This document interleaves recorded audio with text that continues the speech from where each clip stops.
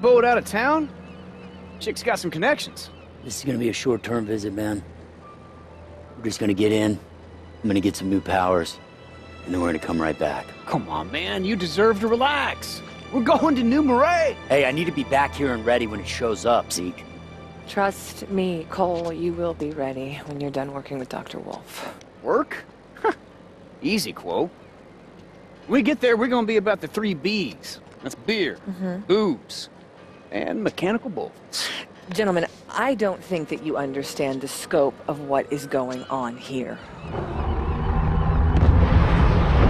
What is going on?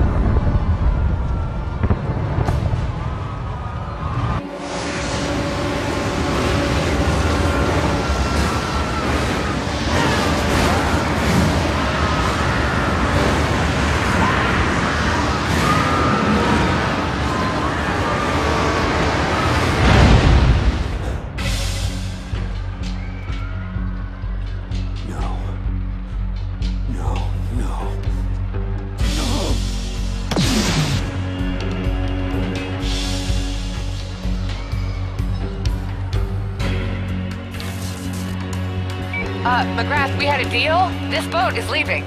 Relax. I got time for this. MacGrath! Over here!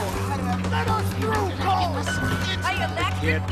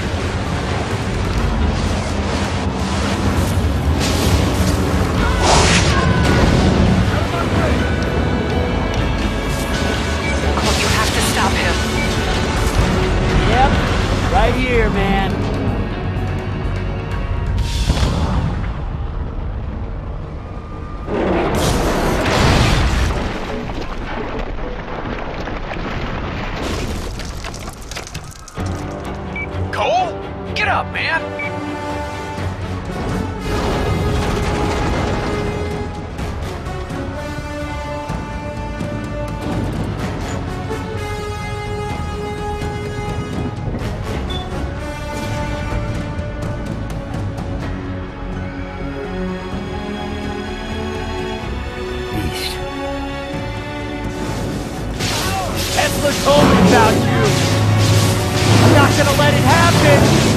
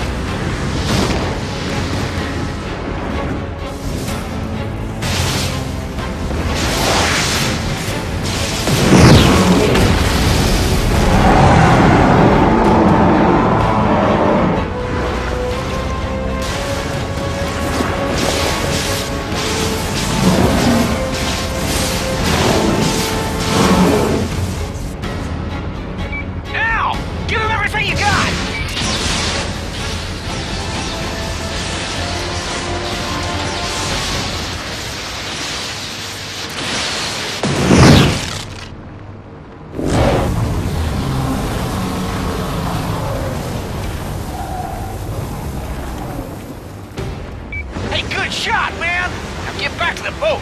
Pier's breaking up. Nice work, MacGrath. That was impressive.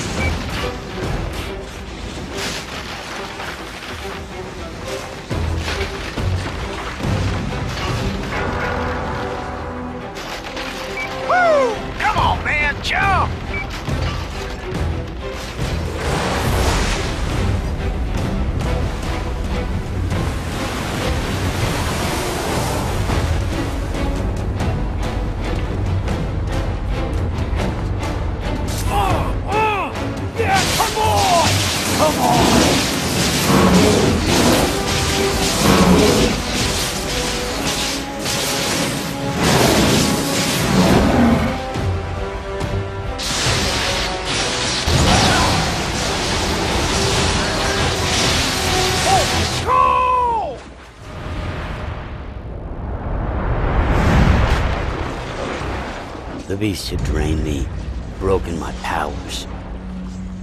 It felt like the end. I almost wish it was.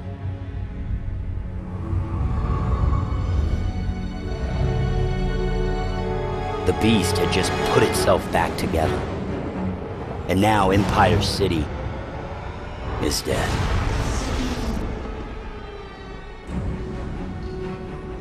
Our ship ran for it, fleeing south to New Marais. People kept their distance, whether from respect or fear. I don't know. Either way, I was alone. Others kept busy, acting out their routines as if it would make the world right again. But I knew better. I had been given powers to defeat the beast. I was strong. I was ready. I had fought it with everything I had. It wasn't enough. That needed to change. The next day I went to work. I helped Z create a device to focus my powers. Hell, he'd do anything to be friends like we used to be. Agent Kuo gathered intelligence on the beast. Town after town was lost as it traveled down the coast. She also used her contacts to requisition a smaller boat. New Marais was in lockdown. Wouldn't let anyone in. We were gonna have to sneak in through the swamp. I don't know if you've ever let someone down, got your ass kicked, or straight up failed. But those are the moments that define us. They push you further than you've ever thought possible and force you to make choices. No matter what the cost.